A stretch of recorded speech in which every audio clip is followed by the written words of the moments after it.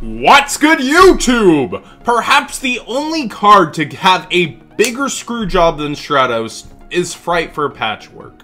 Frightfur Patchwork is an amazing starter card for the Frightfur Fluffal archetype, and time and time and time again, it seems like we're gonna get it, and then we don't get it. So let me talk about what Konami's doing with this card. It's like when you are talking to your grandparents about Christmas and you say you want that new Xbox One, and they seem very receptive to getting you that Xbox One.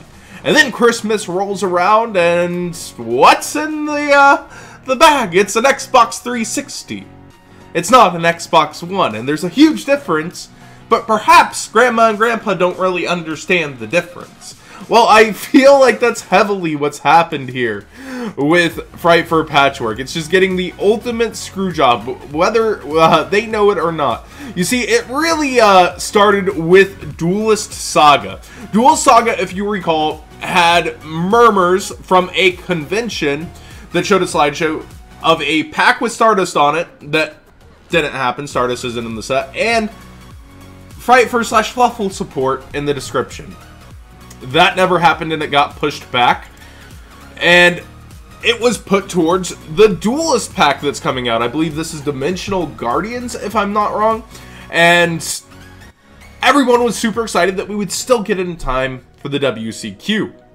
Well, now the spoilers are starting to come out. And the organization pretty much has every card that is in the set, I believe. And the two Frightfur cards here are Frightfur Daredevil and Frightfur Reborn. Oh, man. Also, there was, like, supposed to be more Raidraptor support, we assumed, I think, and there is one Raidraptor card. Just very interesting that, oh, they must have definitely wanted the entire Cyber Angel archetype. Oh, man. Uh, a lot of people are upset. They're gonna calling for this to be the worst sold set ever. I don't know if it's going to sell worse than a star pack, but this is definitely one of the most deflating duels packs I think I've ever seen. Cyber Angels, huh. It's not bad, but this was already cheap and affordable. Like, uh, Ritual Sanctuary was down to a very low price relative to what it did. All the Cyber Angels were very easy to get. None of this is exciting at all. Uh, Sure, the Jack Atlas cards. Yeah, Jack Atlas. Woo. But I, I just think that was the biggest seller of this set, was that Patchwork was going to be in here. And it's just oddly missing. I, I just think once in a while, Konami does this thing where you can cry and cry and cry for what you want. And then they're like, uh, something else like this is okay. Patchwork definitely has the worst of it overall, though, not even getting into the hands of the players. The last chance for this card for us to play in uh, our WCQ slash Nationals is Battles of Legend. And I think that's too late for everybody else's WCQ, but DZ had made a promise to me, huh?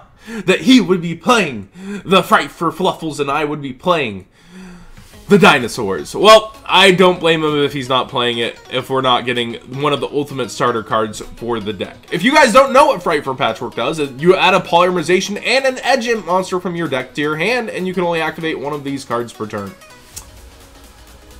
It's pretty good for the archetype, and one of the greatest starters slash uh, extenders that the deck has, depending on where you're using it. It's just insane that uh, the archetype isn't even that prevalent if they get it. It's just a really good card for them. Yet, it's it's the piece they want the most and they're just not getting and may not get in time to play with before link format. Thanks for watching, guys. And what do you guys think? Uh, do you guys think it's a good thing it's not here? Do you all, oh, fluffal players? Uh, I, I definitely think it's just not cool.